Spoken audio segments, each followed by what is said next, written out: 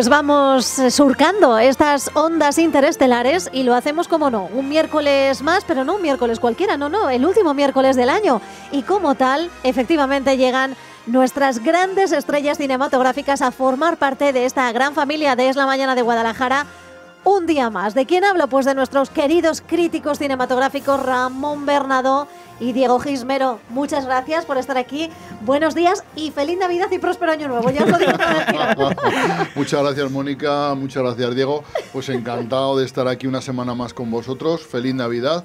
Que yo estoy recién llegado de Zaragoza, donde he soportado temperaturas eh, muy frías, con una niebla intensísima.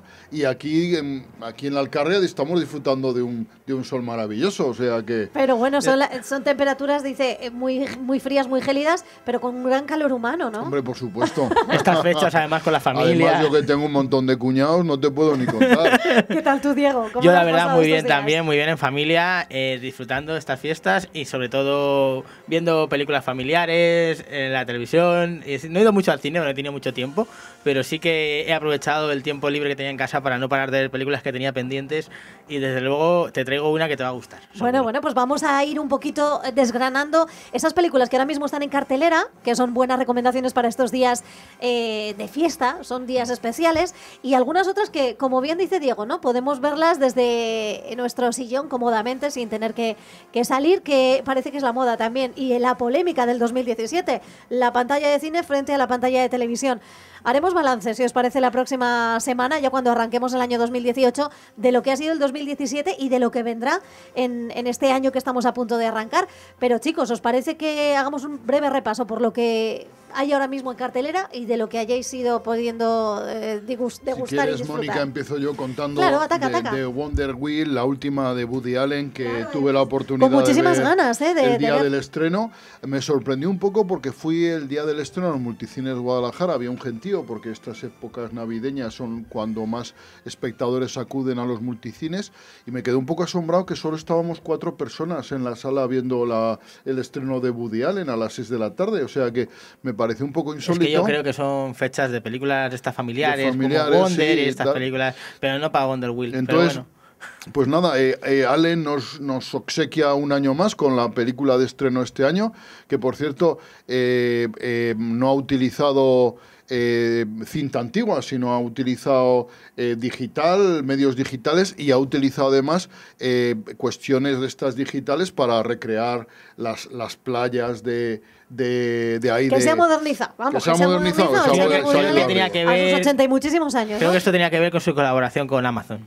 Creo que Amazon, al igual que Netflix, si no tengo malentendido, eh, obliga a grabar las películas y las Sí, series claro, de, en una formato determinada, de una digital. determinada manera. además Pero yo he leído una entrevista larga que publica en, en, en Cinemanía Woody Allen y entonces Woody Allen explica que a él le da igual lo digital que lo analógico, que el cine es Mm. cine y que a él no le importa nada adaptarse a la... Pero se nota en el resultado, ¿eh? Sí, es sí, mucho sí. más brillante, por ejemplo, tiene unos La, colores... la fotografía es eh, excepcional. sí. La fotografía es además muy contrastada, es una fotografía muy bonita.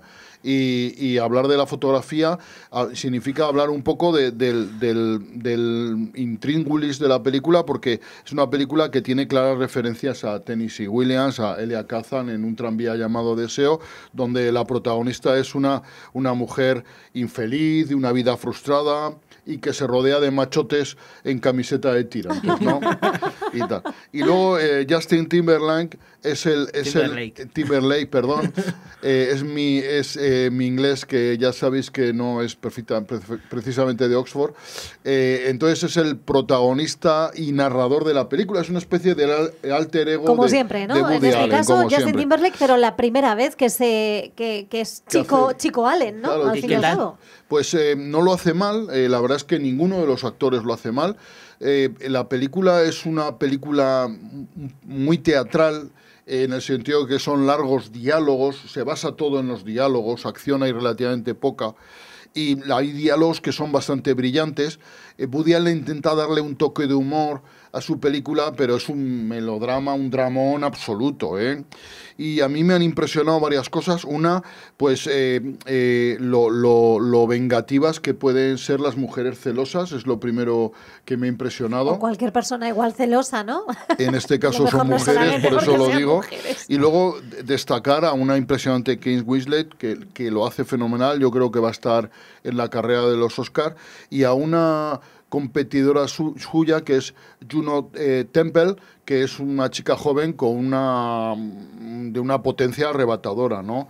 Eh, la peli no es, diríamos, una de las grandes de Woody Allen, pero yo creo que para los incondicionales eh, les va a gustar. A mí me gustó. No es de las peores que tiene tampoco, ¿no? No, Pero no, ni mucho menos. Yo le he puesto un 6.17, bueno, ya conocéis mi, mi generosidad proverbial, y, y no perder de vista a ese niño pirómano que es uno de los grandes descubrimientos de la película. Me gustaría, ¿no? has pasado por alto a James Belushi en una recuperación para el cine, eh, le hacía décadas Ah, décadas, prácticamente, no no, pero muchos años que Muchos no años veíamos, que no, lo veíamos, está estupendo, está estupendo, además en su papel, eh, eh, en un papel que es difícil, pero que yo creo que lo hace muy bien, ¿eh?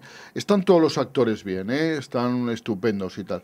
Y, y la peli a, a mí se me pasó entretenida, no... Lo que pasa es que tiene a lo mejor una carga excesiva de teatralidad con unos diálogos muy teatrales. Es a lo mejor lo que, lo lo que, que le, poco, me ¿no? quejo yo un poco de la película. ¿Y la puntuación que le has puesto? Le he puesto un 6.17. Ah, bueno, un Bien, 6.17. sí, está bastante bien. O sea que se deja ver Se Wonder deja Wheel, ver Wonder no Wheel. confundir, como dijisteis en su día, con Wonder, Wonder. ¿no? Que, Ah, claro. que Hay esa otra película, película, que es Wonder, es. que ya sabéis que trata sobre Ramón. un niño con malformaciones craneofaciales y que, que no hay que confundirla. Tengo claro, que decir que yo he tenido el placer también de ver Wonder.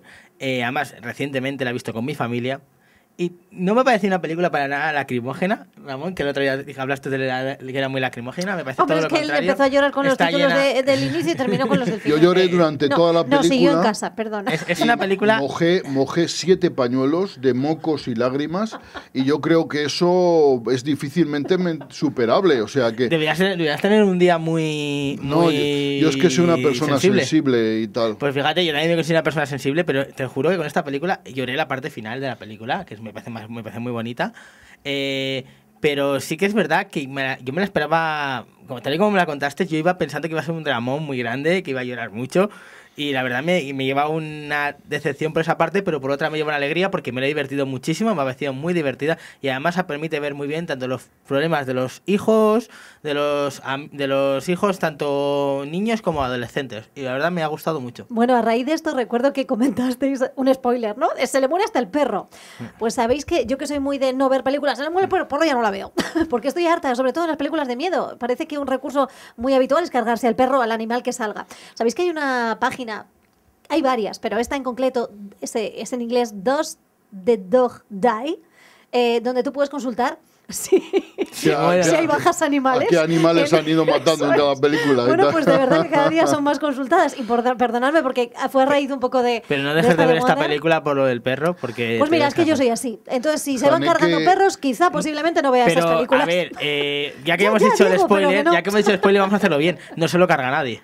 Bueno, que se muere solo, pero muere solo, se, sí. se lo cargan, se lo Mira, cargan los curioso- guionistas. Y dicen, los guionistas faltos de imaginación siempre terminan cargándose el animal. Así que ahí dejo En este eso es al que guionista que un nos está escuchando. el- los asesinatos de animales es muy curioso porque Haneke hace muchos años en una de sus películas introdujo el- la muerte de algún animal y decía Haneke que al, al humano, al, al espectador, le impresiona más ver la muerte de un animal que de una persona en el cine.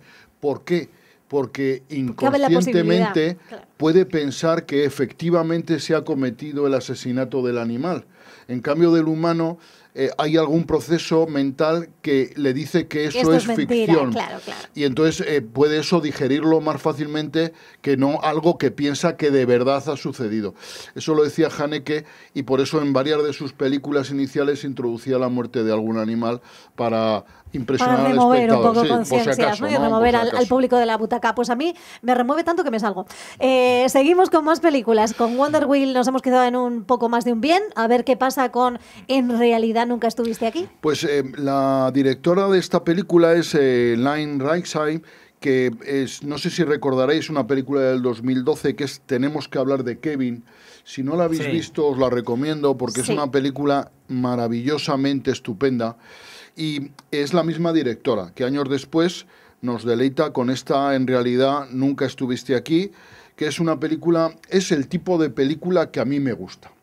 Es una película que, que con muy pocos diálogos, eh, por supuesto sin voz en off, y nos cuenta un poco la existencia de este, de este sicario que a golpe de, de martillo va impartiendo justicia por el mundo, ¿no? Y que al final termina volviéndose un justiciero, un Joaquín Phoenix eh, mm, estupendo, estupendo, de verdad colosal, y que no deja de tener pesadillas, eh, mm, recuerdos vívidos de su, de su infancia o de su época de militar en la guerra de, de Irak. No deja de tener esos recuerdos y eso marca su vida y marca su actitud ante la vida, ¿no?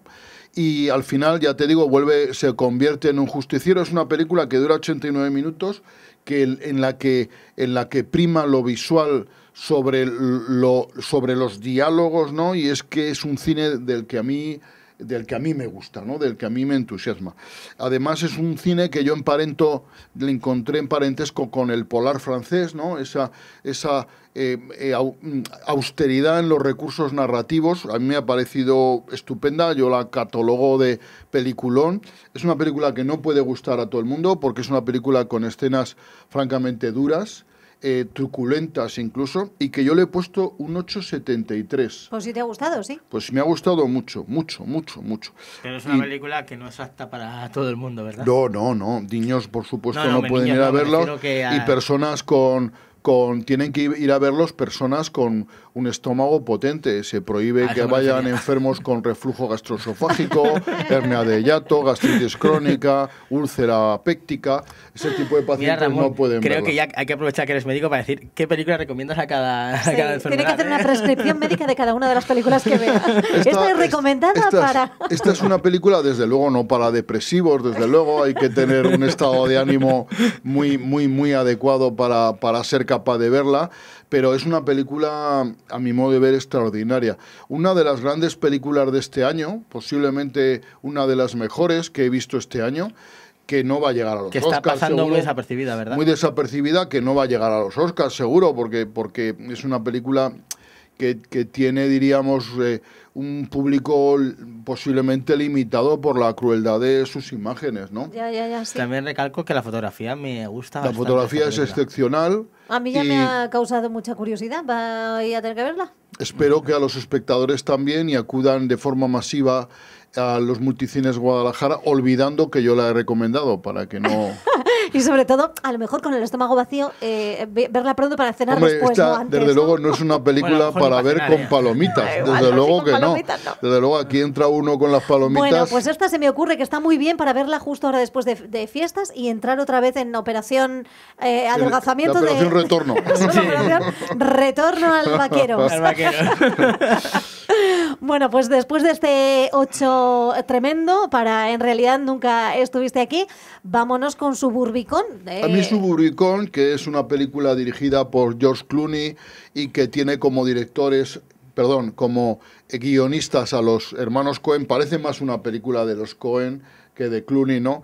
Es una es una película que habla de esa América limpia, aseada, de que viven en urbanizaciones con el césped bien recortadito, en el que todo el mundo es amable uno con otro, hasta que un día llega a esa urbanización a vivir una familia de negros, de afroamericanos, y eso desata pues las peores pasiones que puede haber en el vecindario, ¿no? Y demuestra que esa gente eh, está llena de podrida de prejuicios y de, y, de, y de racismo en su interior. Y dentro de esa urbanización vive una familia, una familia en la que la madre es una eh, tiene una paraplegia producida por un accidente de tráfico que vamos descubriendo cómo ocurrió eso durante la película y no voy a contar más y, eh, pero que en el, en el que hay momentos eh, es una comedia negra no comedia thriller eh, muy negros los Se dos. entre esos dos mundos, Y que muy es muy Cohen. A mí me parece que es una película muy Cohen, muy cargada de, de mala leche, ¿no? Y que es una película que a mí me ha gustado mucho y que y muy recomendable con un Matt, Matt Damon, Damon. con un Matt ¿Qué Damon. tal, qué tal Matt Damon aquí? Pues está estupendo. Matt Damon es muy buen actor. Eh, yo siempre he pensado que Matt Damon es el sucesor de Tom Hanks, ¿no? Por generacional.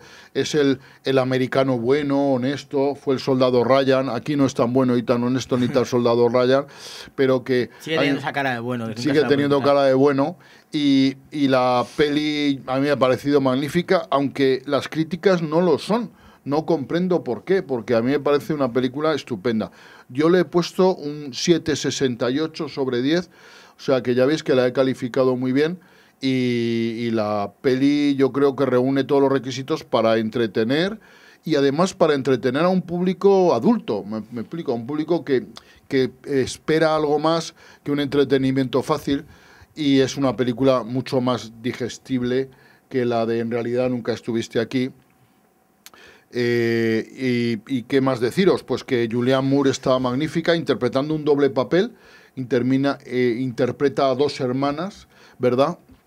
Y, y muy recomendable. Pues es que Este- decíais, hablabais de la carita de niño y de, y de buen actor y tal que tiene Matt Damon y lo hablábamos un poquito antes de, de entrar ahora mismo en, en materia ¿no? y en antena.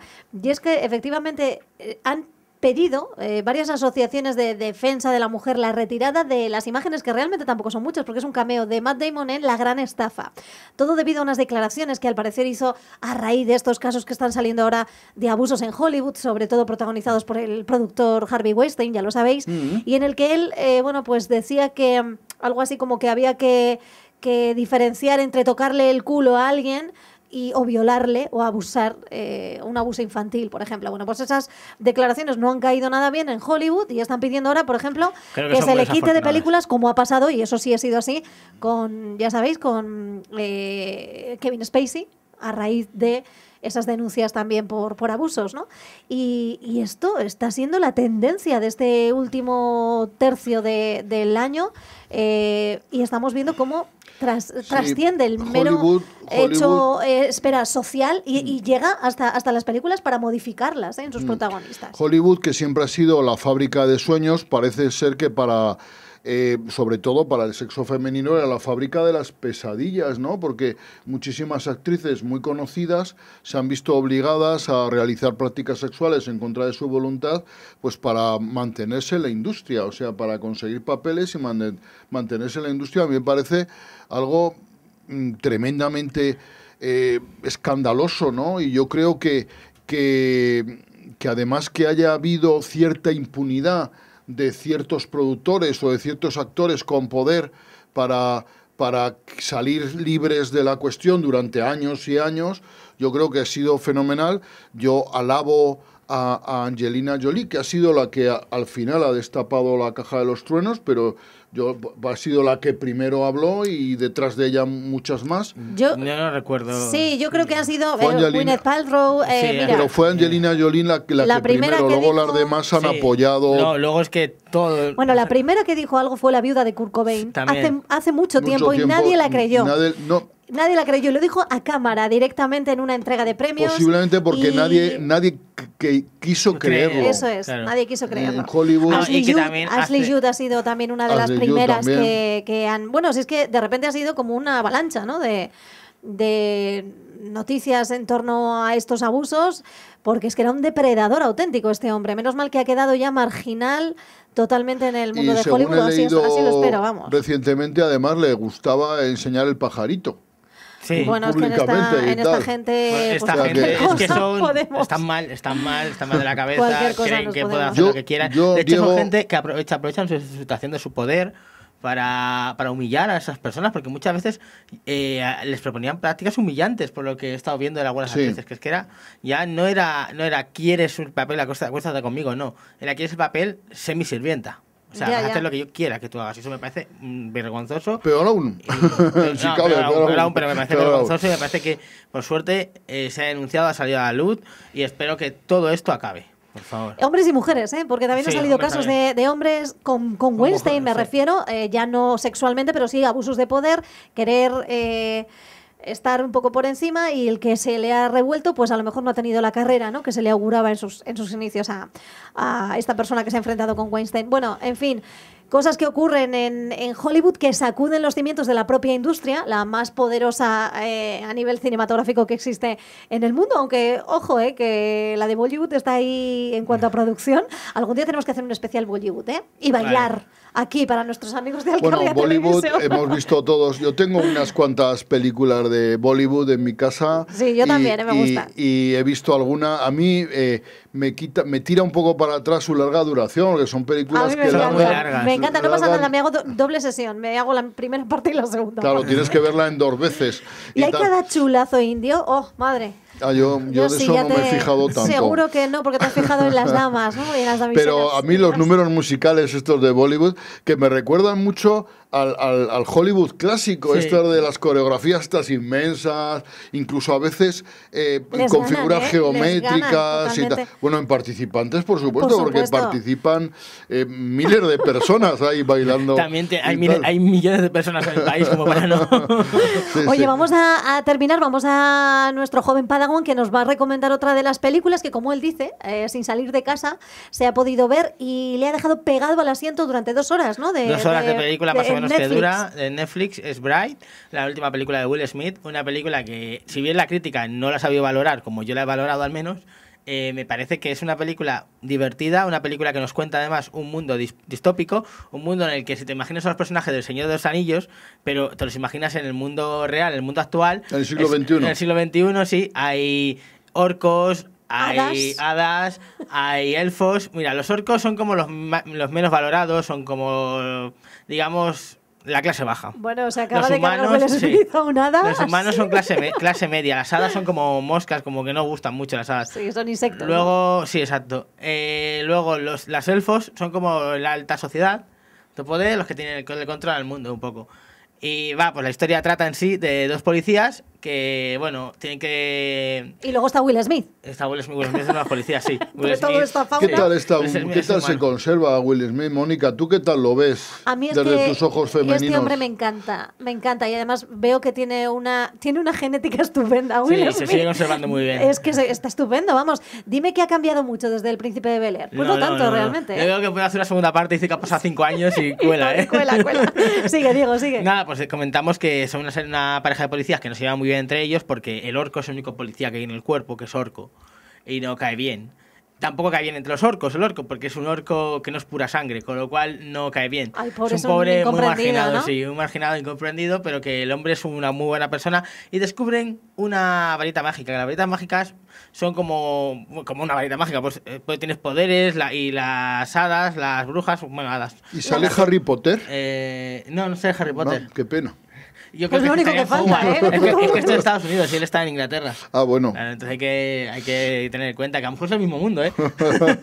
Claro, y está por ahí el hombre de las criaturas, estas de animales fantásticos, ¿no? Fantásticos. ¿Eh? Y otras criaturas, ¿no? Y bueno, pues la película en sí es la típica película de acción, de aventuras, de dos policías que descubren una conspiración para hacerse con una varita y... es una buddy movie, ¿no? Al fin y al cabo, sí, ¿no? sí, sí, completamente. Y nada, no es, no es muy diferente a otras películas del género, tampoco añade nada nuevo ni nada espectacular, único que como tiene el tema de la magia, pues ahí te puedes ver el, el cambio. Hombre, Pero en cuanto es- a película, sigue siendo una película que sigue el mismo est- estilo, el mismo... Hombre, está claro que. Netflix eh, sí que apuesta por un público joven, ¿no? Sí. Un público criado en la ciencia ficción, que conoce El Señor de los Anillos, que conoce el mundo de la magia, que no es un pu- eh, está pensado para un público, yo creo que joven, no mayor. El público mayor posiblemente vea la televi- televisión digital terrestre que es- yo creo que está llamada a ser minoritaria conforme pasen los años. ya, ya has visto qué ha pasado con las audiencias este año.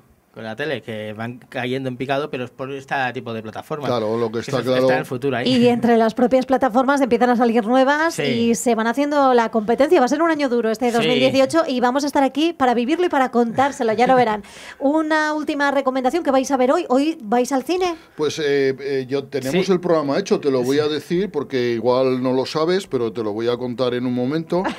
El, el, eh, este, el miércoles vamos a ir a ver a las 4 y 10 Jumanji y luego Genial. una película que es La Cena. Sabes que el miércoles es hoy, ¿no? El miércoles es hoy, efectivamente. Es que lo tenía apuntado hace unos días y he puesto Es que miércoles. tiene puesto en el móvil, miércoles. Miércoles. Entonces, hoy vamos a ver a las 4 y 10 Jumanji y luego a las 6 y algo La Cena, que es una Genial. película que la crítica pone como aburrida, pero yo quiero ver. Y luego eh, mañana jueves a las, a las eh, 4 y media veremos Una vida a lo grande. Eh, también, También con con Matt Damon, Damon, y tal. Entonces ya tenemos Bueno, un poco pues programado estas dos tardes. O- hoy os ver. vais cenados yo con la cena, ¿no? Prácticamente, pero ahora que será. De todas tampoco creo que cene mucho porque estoy preparándome al estómago para Año Nuevo. Y para verla de en realidad nunca estuviste aquí, ¿no? Que es lo que decíamos. Bueno, chicos, pues mira, hoy reuniendo un poco la fantasía de Bright, ese lugar, eh, esa urbanización idílica, eh, ¿no? En Suburbicom, pues nos vamos a despedir con una de las canciones más bonitas y que además también a mí me suena mucho a Navidad, que es Eduardo Manos Tijeras. ¿eh? claro. Ay, qué bonito. Pues venga, con ella os despido hoy y hasta el año que viene. Nos vemos dentro de siete días, ya cambiando la última Nos cifra del calendario. el Feliz año que año. viene. Feliz año a todos nuestros oyentes. Feliz, Feliz año, a que sí. Muchas gracias por escucharnos todo este año y tener la paciencia de oírnos. Lo agradecemos muchísimo, de verdad. Pues muchísimas gracias a los dos, Ramón y Diego. Feliz año.